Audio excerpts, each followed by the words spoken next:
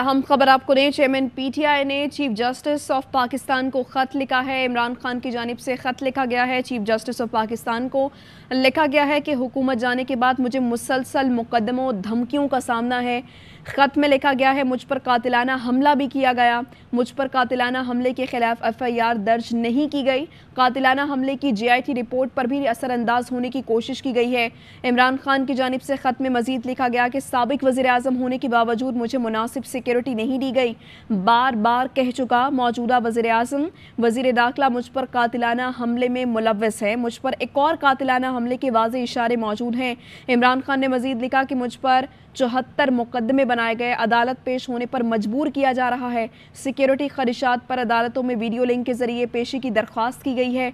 मैं जहाँ जाता हूँ, आवाम खुद बड़ी तादाद में आ जाते हैं। इमरान खान की जानब से लिखा गया, लाहौर हाईकोर्ट में पेशी पर सरकारी सिक्योरिटी दरहम बरहम हो गई थी।